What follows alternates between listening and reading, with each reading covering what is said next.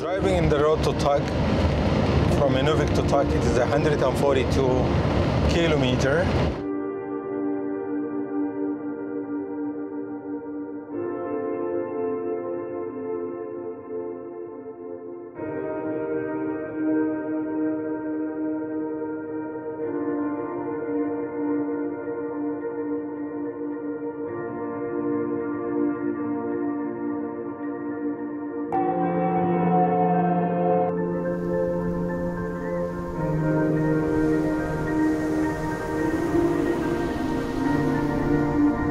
We are blessed to have been given this opportunity to be present at this uh, festival here, and uh, we brought them gifts. We have brought school bags uh, filled with school supplies as part of our Fill a Backpack program.